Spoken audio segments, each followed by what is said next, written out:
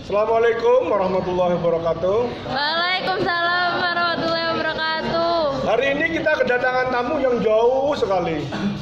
Namanya Pak Tajudin, Mas Mike, dan Reza. Gus Reza. Oh ya Reza, Abdi Reza. nanti bisa minta WA-nya. Wajahnya Ya. kayak Reza Rehan Hardian ya. Iya. Kayaknya adanya ini. Nah, eh, anak-anakku hari ini kita dapat tamu. Tamu itu harus dihormati ya. Abdoif kalmayit. Tapi ini alhamdulillah Mas Tajudin ini selain menguasai bahasa bahasa China ya Mandarin atau bahasa Tiongkok, dia juga menguasai bahasa Inggris dan bahasa Arab. Dulu betul Al-Arabiah. Eh, faham? Alhamdulillah, alhamdulillah. Dan juga menguasai bahasa Indonesia dan Jawa. Ya, ini yang Jawi nih. Saking betul betul betul. Surabaya, Iki- Surabaya. Iki gempa iki. Surabaya. Jadi menguasai tujuh bahasa termasuk bahasa daerah. Baik, nanti kita kalau pengen tahu eh, ternyata tadi kita dialog di awal banyak pengalaman, banyak jurusan. Eh, kita punya bangsa yang besar ya. Orang Madura tuh di seluruh dunia ada. Orang Padang di seluruh dunia ada. Kenapa orang Padang ya, orang Jawa di seluruh dunia ada? Karena mereka maju, karena mereka suka merantau. Termasuk Pak Tajudin ini suka merantau. Akhirnya dia bisa belajar nih dokter ini ya. Dokter Pak Majudin G dari Cina. S2-nya sudah ya, dari Cina sudah. Tinggal meneruskan S3-nya nanti, ini masih proses. Jadi saya kemarin 22 hari tahun 2013 itu diantar Pak Tajudin di keliling Cina ke Hangzhou eh, Universitas Put University. Cijiang University. Cijiang University ya. Ni hao ma, ni hao ma. Ya luar biasa.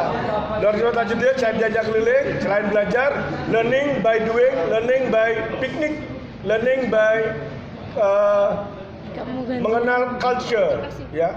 Budayanya budaya China. etos kerjanya wah keren tuh.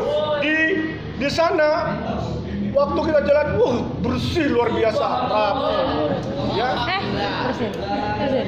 Terusin. di sana juga sungainya udah ada yang kotor. Tiap hari dibersihin. Saya sampai mandi itu kalau jujur itu kelihatan sih ya badan saya.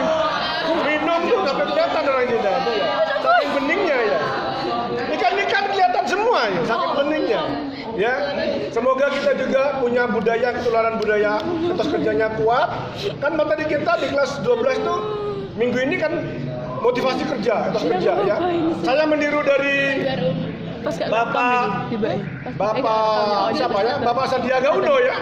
Itu punya kalau pengen maju sukses jadi triliuner punya harus kerja kerja keras, kerja cerdas, kerja tuntas, kerja ikhlas dan kerja yang terakhir itu dari saya sendiri nih kerja berimbas yang punya manfaat bagi yang lain gitu ya oke jadi berikutnya nanti biar lebih lengkap nanti akan diuraikan oleh Pak Dadudin, Mas Reza dan William, Mas Mike William. Tapi sebelumnya ada dari kepala sekolah dulu, wakil kepala sekolah dibagi Bu Erni. Karena Bu Erni dulu bersama-sama saya ke ke Cina 22 hari dengan Bu Ida tiga orang ya.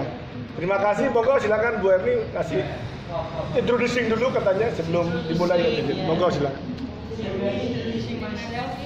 Mas, ganti ganti. Waalaikumsalam warahmatullahi wabarakatuh. tidak banyak yang saya sampaikan pada prinsipnya eh, saya pernah bertemu Mas Tajudin ini masih mahasiswa di Cecan University saya pas ke sana kunjungan sebagai guru untuk mendapatkan pelatihan bahasa Mandarin di Cecan University selama 21 hari nah, eh, kesan saya pengalaman saya di sana Alhamdulillah di sana untuk muslim jangan khawatir ya masalah makan karena di kampus sudah disediakan food court yang halal. Jadi khusus untuk muslim sudah ada food courtnya di mana yang masak, yang melayani semuanya muslim.